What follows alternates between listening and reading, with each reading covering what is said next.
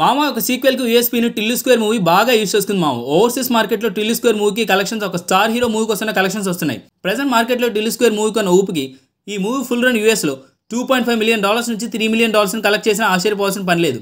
ఈ movie first day అయిన north అమెరికాలో నైన్ ఫిఫ్టీ కే డాలర్స్ని కలెక్ట్ చేసింది. అంటే దాదాపు వన్ మిలియన్ ఇంకా మొత్తం ఓవర్సీస్ కలెక్షన్ చూసుకుంటే వన్ పాయింట్ టూ మిలియన్ డాలర్స్ని కలెక్ట్ చేసింది. అంటే మన రూపీస్లో చెప్పాలంటే దేవన్న ఈ మూవీ ఓవర్సీస్లో పది కోట్ల గ్రాస్ని కలెక్ట్ చేసే ఛాన్స్ ఉంది. ఫస్ట్ వీకెండ్లోనే టూ మిలియన్ మార్క్ కొట్టేసిందని మార్కెట్లో వినిపిస్తున్న స్ట్రాంగ్ న్యూస్ ఇంకా వరల్డ్ వైడ్గా ఈ మూవీ ఫస్ట్ డేనే ఇరవై మూడు పాయింట్ ఏడు కోట్ల గ్రాస్ని కలెక్ట్ చేసింది. జస్ట్ నైజాంలోనే నాలుగు పాయింట్ మూడు ఐదు కోట్లు కలెక్ట్ చేసింది ఇంక్లూడింగ్ జీఎస్టీ ఇంకా మూవీ టికెట్స్ అమ్ముడుపోయే విషయానికి వస్తే బుక్ మై షోలో లాస్ట్ ట్వంటీ ఫోర్ అవర్స్కి ఈ మూవీకి two eighty six point six eight K tickets అమ్ముడుపోయాయి. దీనితో పాటు రిలీజ్ అయిన ద గోట్ లైఫ్ మూవీకి కూడా బీఎంఎస్లో two seventy four point five one K tickets అమ్ముడుపోయాయి. మూవీకి ఎలాగో పాజిటివ్ ఉంది కాబట్టి మూవీ టికెట్స్ హాట్ కేక్స్లో అమ్ముడుపోతున్నాయి.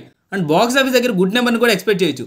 ఒక ఇంటర్వ్యూలో మూవీ ప్రొడ్యూసర్ వంశీ గారు ఈ మూవీ వంద కోట్లు కలెక్ట్ చేస్తుందని ఒక స్టేట్మెంట్ ఇచ్చారు. ఈ కలెక్షన్స్ అండ్ ఊపు చూస్తుంటే నిజంగా కలెక్ట్ చేసినా చేస్తుంది అనిపిస్తుంది. ఇంతకీ నువ్వు మూవీ చూసావా? ఎలా అనిపించిందో కామెంట్ చేయడం మాత్రం మర్చిపోకు. ఎలాగో ఈ ఛానల్ సబ్స్క్రైబ్ చేశారు కదా అలాగే మన సెకండ్ ఛానల్ కూడా సబ్స్క్రైబ్ చేసి సపోర్ట్ చేయండి. మరో మంచి వీడియోతో మళ్ళీ కలుద్దాం. అంతవరకు టేకే బాయ్ బాయ్